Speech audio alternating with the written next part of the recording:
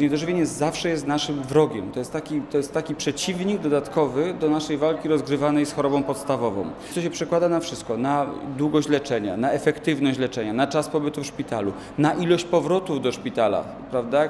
Schorzenie nawraca z tego powodu, że pacjent ma niedokładnie wyleczony. W systemie na szczęście już mamy właściwie wszystko zrealizowane, bo refundacje żywień są, y, mamy napisane standardy właściwie w każdej dziedzinie. Musimy dotrzeć do dyrektorów szpitali. Musimy pokazać dyrektorom szpita- szpitali, co można zyskać dzięki żywieniu.